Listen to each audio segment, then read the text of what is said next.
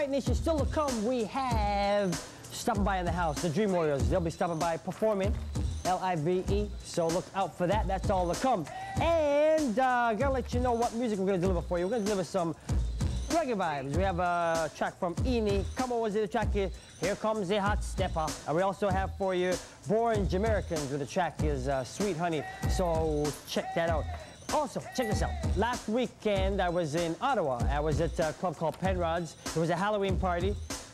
3,000 kids showed up. I can't believe it. 3,000 young cats were in the house. They had a seriously rocking time. I know they had a great time. I had a good time down there. I want to say uh, some shouts out to Jason, the cameraman, Jason, the host of the show that I forgot the name of the show, but Jason, thanks for the interview. Also, uh, Ian, thanks for all the help. Uh, Paul, uh, the DJs, the club, and everybody that came out. Hope you had a good time. And you know what?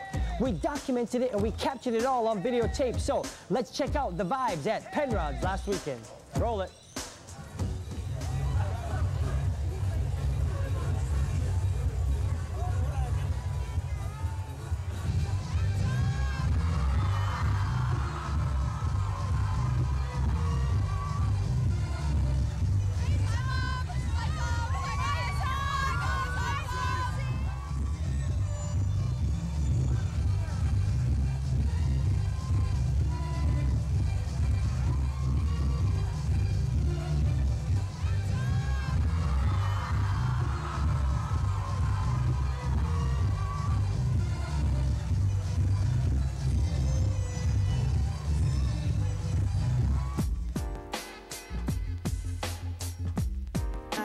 body again.